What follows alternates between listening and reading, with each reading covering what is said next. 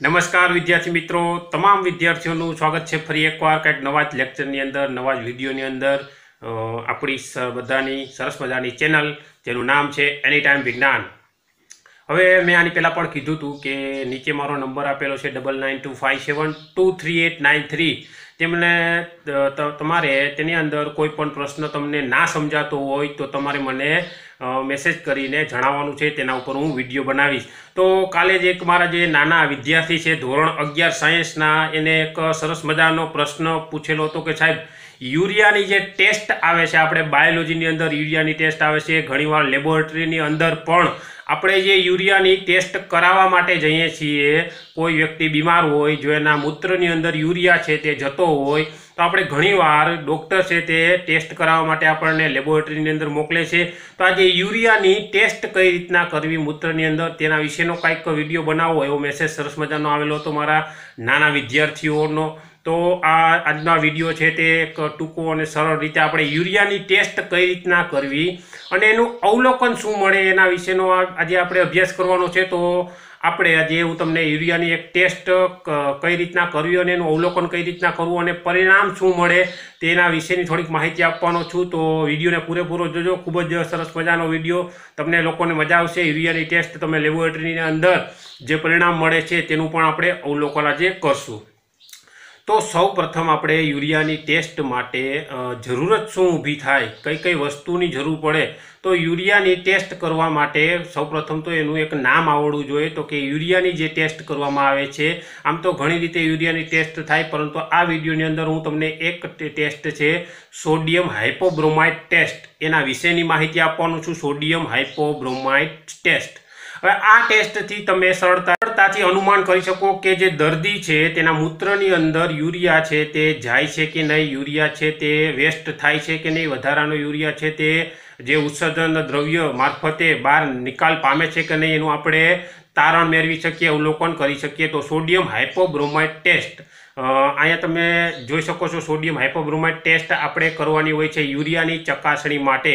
તો સૌપ્રથમ આપણને યુરિયાની ટેસ્ટ કરવી હોય તો કયા કયા સાધનોની જરૂર પડે? તો કે આપણે સૌપ્રથમ તો શું જોઈએ? તો કે સામાન્ય મૂત્ર ની હાજરી જરૂર પડે. સામાન્ય મૂત્ર અહીંયા મેં લીધું છે. તમે જોઈ શકો છો, સામાન્ય મૂત્ર, કોઈ દર્દીનું મૂત્ર નથી, પરંતુ સામાન્ય વ્યક્તિનું મૂત્ર છે. તે આપણે એક કોનિકલ ફ્લાસ બીકરની અંદર લીધેલું છે અહીંયા. પછી શું છે તો કે આપણે એક ટેસ્ટ ટ્યુબ, બે ટેસ્ટ ટ્યુબ જોશે. બે ટેસ્ટ ટ્યુબ લેબલ લગાડેલી જેને આપણે લેબલ મારેલું છે, એ ટેસ્ટ ટ્યુબને એ નામ આપેલું છે અને બી ટેસ્ટ ટ્યુબને શું આપેલું છે? બી નામ આપેલું છે આવી બે લેબલ લગાડેલી ટેસ્ટ ટ્યુબ આપણે અહીંયા ઉપયોગમાં લેવાની છે. ત્રીજું શું છે? તો કે ટેસ્ટ ટ્યુબ સ્ટેન્ડ જોશે આપણે. ટેસ્ટ ટ્યુબને ઊભી રાખવા માટે ટેસ્ટ ટ્યુબ સ્ટેન્ડ મેં લીધું છે. ટેસ્ટ ટ્યુબ સ્ટેન્ડ છે, વિદ્યાર્થી મિત્રો, તેમાં ખાસ કરીને રચના તમને બે પ્રકારની જોવા મળે. એક તો જે સળિયા જેવી ઊભી જે રચનાઓ છે, એ અને એક જે નીચે ટેસ્ટ ટ્યુબ રાખવા માટેની જગ્યા હોય છે. જે સળિયા જેવી જગ્યા હોય છે, તે શા માટે ઉપયોગમાં લેવાની હોય છે? ઘણીવાર આપણને ખ્યાલ હોતો નથી તો કે જ્યારે તમારી ટેસ્ટ પૂર્ણ થઈ જાય, ત્યારબાદ શું કરવાનું? તો કે જે આપણી ટેસ્ટ ટ્યુબ છે તેને એની ઉપર ઊંધી વાળી દેવાની હોય છે. આવી રીતના આપણે ટેસ્ટ ટ્યુબ સ્ટેન્ડનો જે ઉપયોગ કરવાનો છે. બીજું શું ઉપયોગ ઉપયોગમાં લેવાનું છે? તો કે ટેસ્ટ ટ્યુબ સ્ટેન્ડનો અહીંયા ઉપયોગ કરવાનો છે. બીજું વિદ્યાર્થી મિત્રો શું છે? આપણને તો કે યુરિયાની એક નાની જે બોટલ આવે છે તે આપણે લેવાની છે. કારણ કે આપણે સામાન્ય મૂત્રની અંદર અત્યારે શું કરશું તો કે યુરિયા નાખશું અને પછી ટેસ્ટ કરશું ને ત્યારબાદ આપણે અવલોકન કરવાનું છે. કારણ કે દર્દીનું મૂત્ર આપણે લીધેલું નથી. માત્ર સામાન્ય મૂત્ર લીધેલું છે. સામાન્ય વ્યક્તિનું મૂત્રની ટેસ્ટ આજે આપણે અહીંયા કરવાની છે. બીજું શું જોશે તો કે યુરિયાની બોટલ સિવાય આપણે શું જોશે તો કે સોડિયમ હાઇપોબ્રોમાઇડની એક નાની બોટલ અહીંયા મેં લીધેલી છે. સોડિયમ હાઇપોબ્રોમાઇટ આપણે નાખવાનો છે. આટલું વિદ્યાર્થી મિત્રો સમજાઈ ગયું. સોડિયમ હાઇપોબ્રોમાઇટ આપણે આજે નાખવાનું છે. હવે આપણે ટેસ્ટની શરૂઆત કરીએ તો સૌપ્રથમ શું કરવાનું તો કે ટેસ્ટ ટ્યુબ સ્ટેન્ડ લેવાનું છે. અહીંયા તમે જોઈ શકો છો, મેં ટેસ્ટ ટ્યુબ સ્ટેન્ડ લીધું છે. તેની અંદર શું કરવાનું તો કે આપણે જે બે લેબલવાળી એ અને બી જે બે લેબલ લગાડેલી આપણી જે ટેસ્ટ ટ્યુબ તૈયાર કરી હતી, તે મેં અહીંયા ગોઠવી છે. તમે જોઈ શકો છો. તો આ જે ટેસ્ટ ટ્યુબ સ્ટેન્ડમાં મેં એ અને બી લેબલવાળી બે જે ટેસ્ટ ટ્યુબ ગોઠવી છે, એવી રીતના તમારે ટેસ્ટ ટ્યુબ સ્ટેન્ડની અંદર બે ટેસ્ટ ટ્યુબ ગોઠવવાની છે. ત્યારબાદ શું કરવાનું તો કે સામાન્ય મૂત્ર મેં બીકરની અંદર અહીંયા લીધું છે. સામાન્ય મૂત્ર લેવાનું છે આપણે, સામાન્ય વ્યક્તિનું એ પણ આપણે અહીંયા લઈ લીધું છે.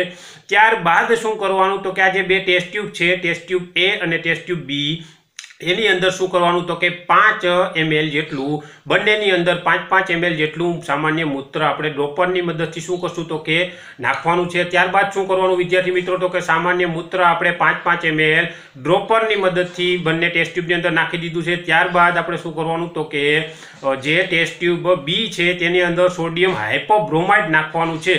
સોડિયમ હાઇપોબ્રોમાઇટ કેમાં નાખવાનું ટેસ્ટ ટ્યુબ બીની અંદર. તો કે તમે જો સામાન્ય મૂત્રનો રંગ જે છે તે જો તો આછો પીળા જેવો છે. તો આ જે રંગ છે તે પરિવર્તન થાય કે નહીં એ આપણે જોવાનું છે. તો આપણે સોડિયમ હાઇપોબ્રોમાઇટ નાખેલું છે. એ જોઈ શકો છો તમે ટેસ્ટ ટ્યુબ બીની અંદર. તમે અવલોકન કરશો તો તમને ખ્યાલ આવી જશે કે કોઈ પણ જાતનું રંગ પરિવર્તન થશે નહીં. ત્યારબાદ શું કરવાનું? તો કે ટેસ્ટ ટ્યુબ જે બી છે એની અંદર આપણે શું કરવાનું? તો કે યુરિયાનો પાવડર નાખવાનો છે. અહીંયા તમે જોઈ શકો છો કે મેં યુરિયાનો પાવડર નાખેલો છે ટેસ્ટ ટ્યુબ બીની અંદર. જેથી કરીને શું થશે? તો કે જે સામાન્ય મૂત્ર હતું તે યુરિયા નાખતા જે દર્દીનું મૂત્ર છે એના જેવી જ રચના ધારણ કરી લેશે. એટલે યુરિયાવાળું મૂત્ર તૈયાર થઈ ગયું છે. ત્યારબાદ શું કરવાનું? તો કે જે ટેસ્ટ ટ્યુબ એ હતી તેની અંદર આપણે સોડિયમ હાઇપોબ્રોમાઇટ નાખીને ચેક કરી લેવાનું કે રંગ પરિવર્તન થાય છે. તો એમાં કોઈ પણ જાતનું રંગ પરિવર્તન થશે નહીં. ત્યારબાદ શું કરવાનું? તો કે જે ટેસ્ટ ટ્યુબ બી છે થોડા ટાઈમ બાદ ટેસ્ટ ટ્યુબ બી આપણે જે યુરિયા નાખેલી હતી, તેની અંદર શું કરવાનું? તો કે ટેસ્ટ ટ્યુબ બીની અંદર આપણે સારી રીતે હલાવીએ. તમે જોઈ શકો છો મેં મિશ્રણ કરી દીધું છે, જેથી કરી યુરિયાવાળું મૂત્ર જે છે, સામાન્ય મૂત્રમાંથી યુરિયાવાળું મૂત્ર બની ગયું છે. દર્દીનું મૂત્ર બની ગયું છે. જે કોઈ રોગી દર્દી હોય ને જ્યારે એને ટેસ્ટ કરાવવા માટે ડૉક્ટર મોકલે છે, હોસ્પિટલેથી, લેબોરેટરીની અંદર ત્યારે જે એના મૂત્રની અંદર જે યુરિયા છે તે વ્યય પામતો હોય છે, શરીરની બહાર નિકાલ પામતો હોય છે, એવું મૂત્ર અત્યારે તૈયાર થઈ ગયું છે. હવે શું કરવાનું? ટેસ્ટ ટ્યુબ જે બી છે આપણી, ટેસ્ટ ટ્યુબ બી એની અંદર આપણે યુરિયા નાખેલો હતો. તો હવે આ જે ટેસ્ટ ટ્યુબ બી છે, એની અંદર આપણે સોડિયમ હાઇપોબ્રોમાઇટના બેથી ત્રણ ટીપા નાખવાના છે. બેથી ત્રણ ટીપા અહીં તમે જોઈ શકો છો. મેં સોડિયમ હાઇપોબ્રોમાઇડ નાખેલો છે, ટેસ્ટ ટ્યુબ બીની અંદર. હવે આપણે અવલોકન કરશું, અહીં તમે જોઈ શકો છો કે અવલોકન કરતા તમને નાઇટ્રોજનના ઉભરા જોવા મળશે. જેમ આપણે જે સોડા પીતા હોય કોઈ પણ સોડા તમે જ્યારે દુકાનની અંદર લેવા જાઓ, તમે તમારા ગ્લાસની અંદર પીતા હો, તો તમને ખ્યાલ હોય કે એમાંથી જે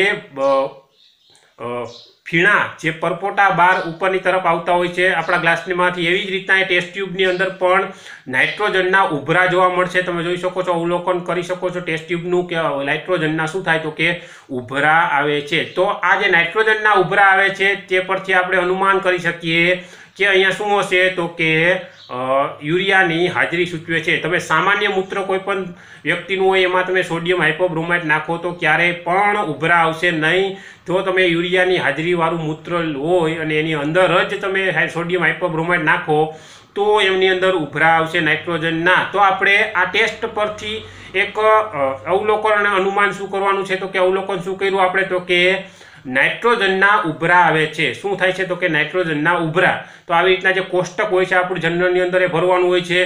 અથવા લેબોરેટરીની અંદર તમને જે રિપોર્ટ આપે છે, તેની અંદર પણ એ લોકો ભરતા હોય છે. જે તે લેબોરેટરીના જે સર હોય છે તે, ડૉક્ટર હોય છે તે શું કરતા હોય તો કે તમારો જે રિપોર્ટ ભરતા હોય છે, એમાં યુરિયા છે તે પોઝિટિવ દર્શાવતા હોય છે. તો આવી રીતના આપણે જે અહીંયા પ્રેક્ટિકલ બુકની અંદર છે, અવલોકન શું નોંધવાનું છે તો કે નાઇટ્રોજનના ઉભરા જોવા મળે. તે પરથી અનુમાન શું આપણને મળે તો કે યુરિયાની હાજરી.